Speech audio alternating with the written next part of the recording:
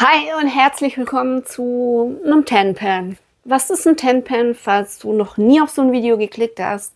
Es gab mal auf YouTube so einen kleinen Hype und der ist aber nicht mehr da. Ich finde aber dieses Format sehr wichtig, weil wir können nicht immer nur kaufen, wir müssen das, was wir kaufen, auch benutzen. Klar, es gibt auch die Möglichkeit zu verschenken.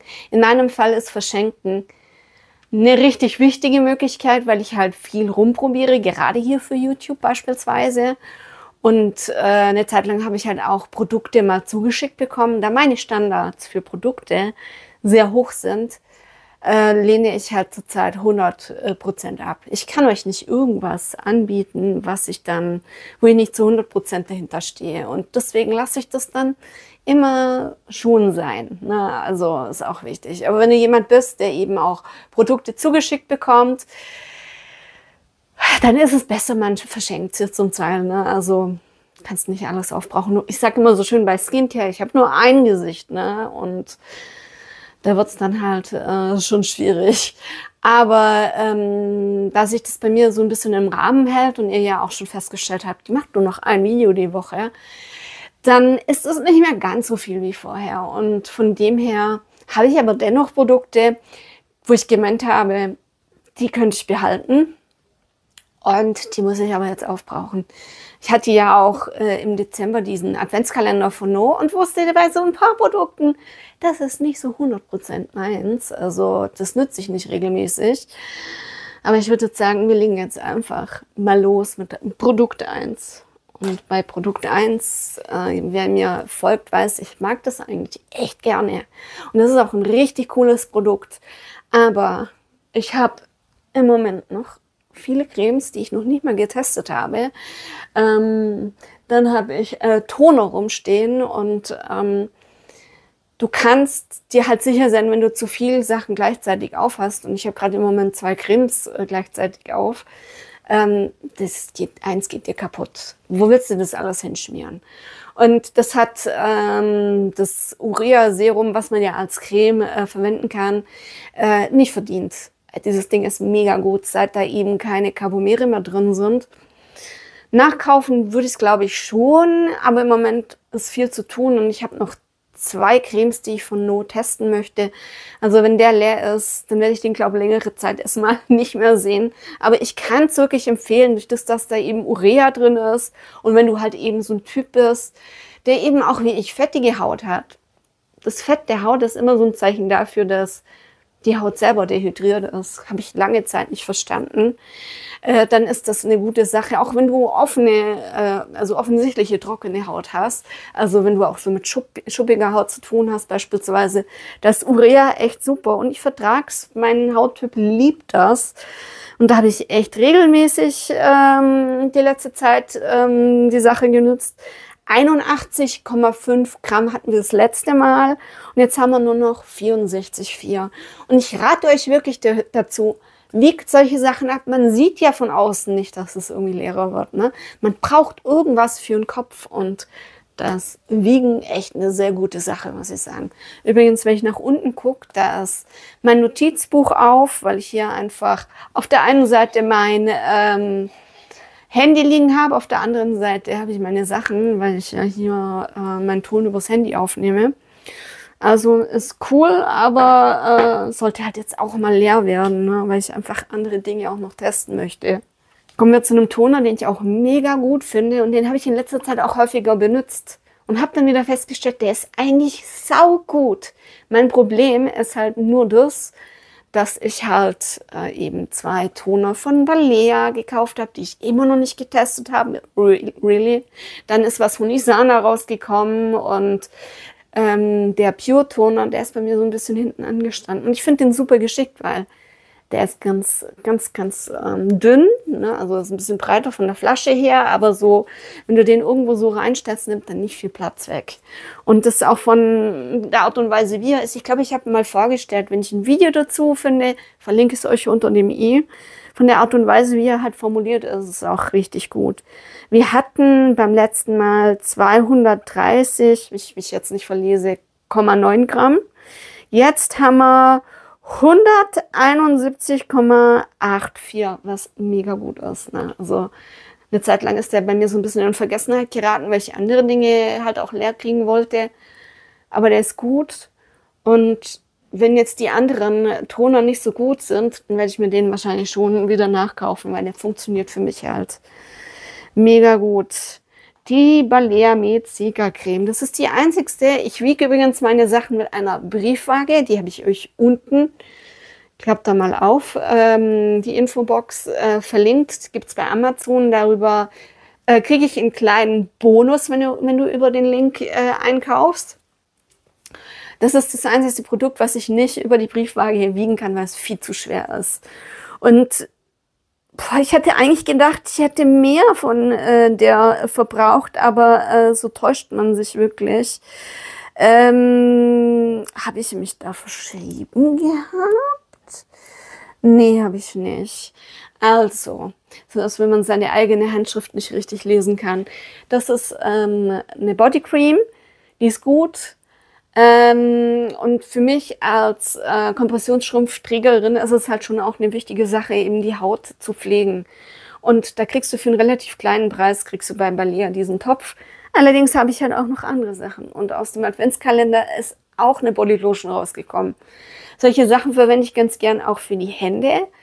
Da ist ähm, das Pendant von, um, nee, es ist nicht das Pendant. Ich habe von Isana Med habe ich eine Urea Body Cream, die mag ich viel mehr, die ist auch ein bisschen zäher. Die verwende ich lieber an den Händen, da ich das Ding aber aufbrauchen möchte. Ähm, Kommt es halt öfters ähm, zum Einsatz. Wir haben 323 jetzt und zuvor haben wir 350 Gramm gehabt. Ich habe echt gedacht, ich hätte davon mehr genommen, aber offensichtlich äh, täusche ich mich da. Die Verpackung ist relativ schwer. Ja, jetzt ist auch ungefähr halb leer. Also ich habe schon einiges ähm, genutzt, aber dennoch, da kommt noch einiges raus. Dann haben wir Isana Liquid ähm, Moisturizer. Ich will den immer äh, Hydrator nennen, aber das ist der von No. Mag ich auch echt gerne. Habe ich jetzt, wie gesagt, durch die Aufbrauchgeschichte auch einfach gemerkt, das ist eigentlich ein ganz gutes Produkt. Kann aber verstehen, warum anhand der Formulier Formulierung manche Probleme haben damit. Denn da kann es halt schon auch mal zu Unterlagerungen kommen. Er ist um einiges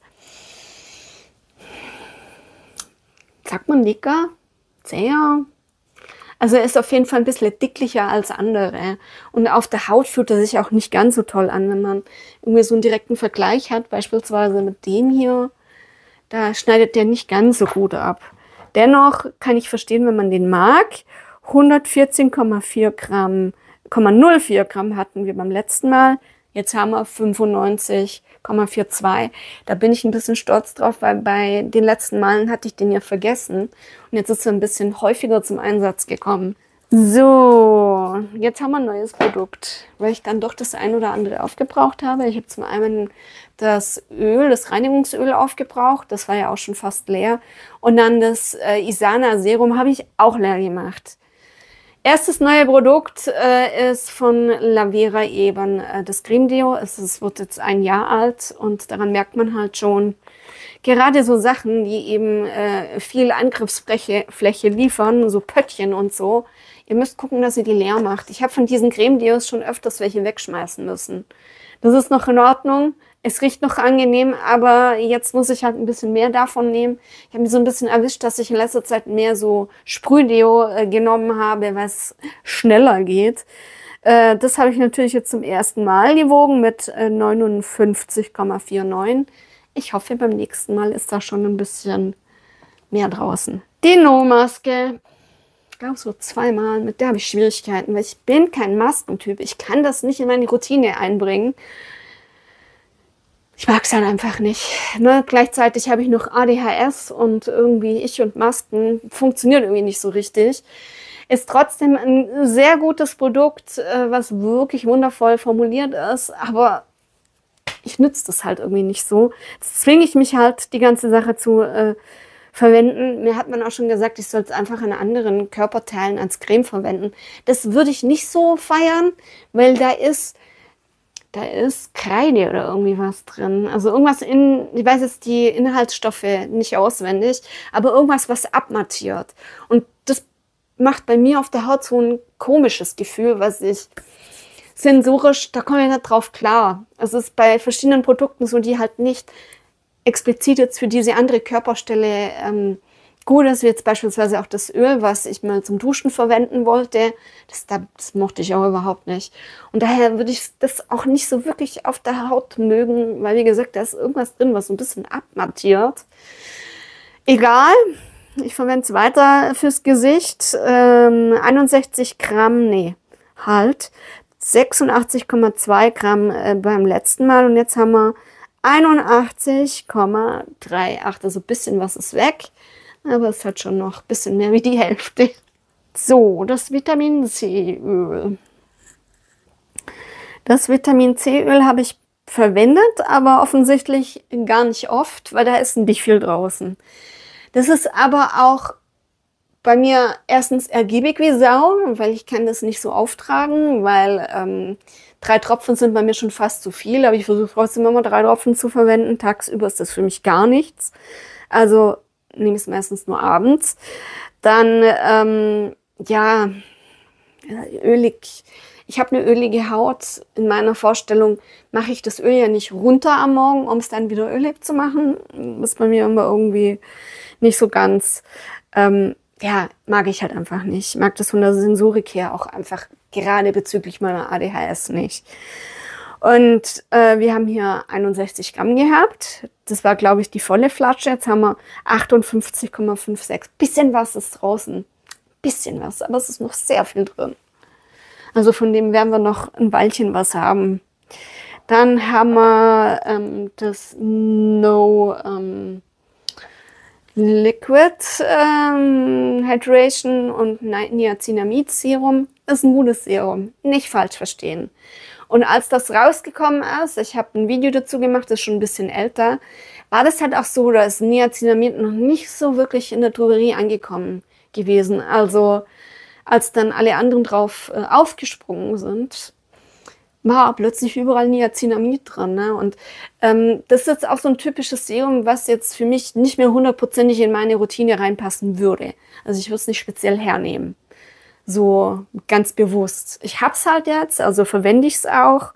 Ähm, wir haben hier 63,41. Äh, also ich glaube, das hatte ich schon ein, zweimal jetzt aufgehabt. Und ähm, ja, und da das dann eher bei mir so ein bisschen nach hinten rutschen würde, wenn ich es jetzt nicht be bewusst nehmen würde, habe ich es halt äh, in mein Tenpan reingehauen. No Handcreme. Gerade sehr viel am Lernen. Und mir ist einfach auch ständig kalt. Und was ich dann noch nicht mag, ist, wenn ich Hände gewaschen habe und die dann so trocken sind und du fällst Papier an. Kennt ihr das, diese Sensorik? Boah, ich hasse das. Ich muss dann immer erstmal schön Handcreme drauf machen. Und da ist die halt wirklich zum Einsatz gekommen. merkt ihr auch an, die ist gar nicht mehr so voll. Es könnte so das äh, nächste ähm, Produkt sein, was wirklich leer ist. 80,32 beim, beim letzten Mal und jetzt haben wir, stimmt das? 38,65. Ja, es ist wirklich nicht mehr viel drin. Ne, also ich hätte es auch nicht gedacht, ne, weil ich kaufe mir seit Jahren keine Handcremes mehr, weil ich da halt Bodylotion zunutze oder was halt auch da ist. Aber naja, letztes Produkt. Das letzte Produkt ist Squalan. Ich habe es immer noch. Ich habe es immer noch, ich weiß. Ich habe es jetzt die letzten Male zweimal statt Creme verwendet. Ähm, Squalan ist eine tolle Sache, wenn du beispielsweise zu trockenen Spitzen neigst oder eher so dickere Haare hast und die so ein bisschen pflegen möchtest und so. Da ist Squalan auch gut, weil Squalan nicht so rückfettend ist. Ich habe mal ein Video zu Squalan gemacht. Wenn ich es vergesse, verlink, wenn ich es nicht vergesse, verlinke ich es euch. Ansonsten guckt ihr mal auf meinem äh, Kanal. Und das, die Qualität von dem Squalan von bei uns Söhne ist halt richtig gut. Ich habe gut Geld bezahlt für die Probe, ne? Und jetzt äh, ist es halt auch wichtig, dass ich sie wirklich jetzt mal aufbrauche, weil es ist jetzt sehr lang schon auf. 9,59 Gramm und ähm, jetzt haben wir 9,17. Also bisschen was ist draußen, bisschen was. Gut gemacht. So, wie ist es bei euch? Habt ihr auch eine kleine Aufbrauch-Challenge? Denkt immer daran. Kauft nicht nur, sondern braucht auch eure Produkte auf. Und ich habe eine gute Empfehlung, wenn ihr zum Beispiel gerade in der Skincare eben Dinge aufbrauchen wollt. Macht eine Routine aus ganz neuen und alten Produkten, die ihr aufbrauchen wollt. So ist das Aufbrauchen an sich nicht so schwierig und wiegt die ganze Sache wirklich ab. Ihr findet unten die Briefwaage, die ich habe, die ich auch zum Sonnencreme abmessen nutze. Kannst du mal unten in die Infobox reingucken. Ich melde mich an der Stelle ab, sage danke fürs Einschalten, gib mir gerne einen Daumen nach oben und hinterlasse einen Kommentar. Ich sage danke fürs Einschalten. Bis zum nächsten Mal. Tschüss.